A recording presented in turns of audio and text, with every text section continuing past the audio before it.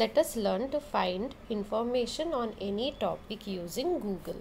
So this is the phone screen of course my phone screen. So over here to find out information related to any topic first go to the browser of your phone. So I am clicking over here and as you can see I am using the Google Chrome as a browser.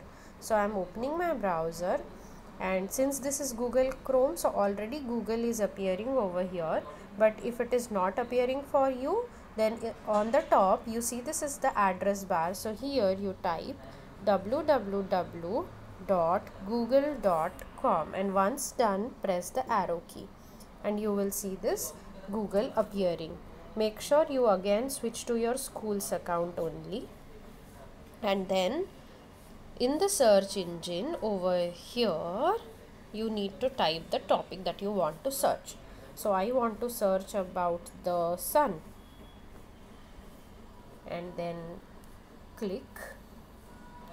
So as you can see so different web pages have appeared. So this is the sun the first web page.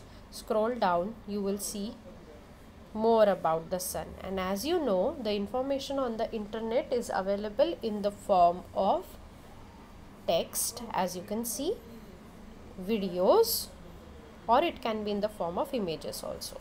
So whatever information you want to find out you can find out using the internet. And then if you want to read that so just scroll and check whichever you want to open. So click on that. And the information related to that topic will appear in front of you and you can happily enjoy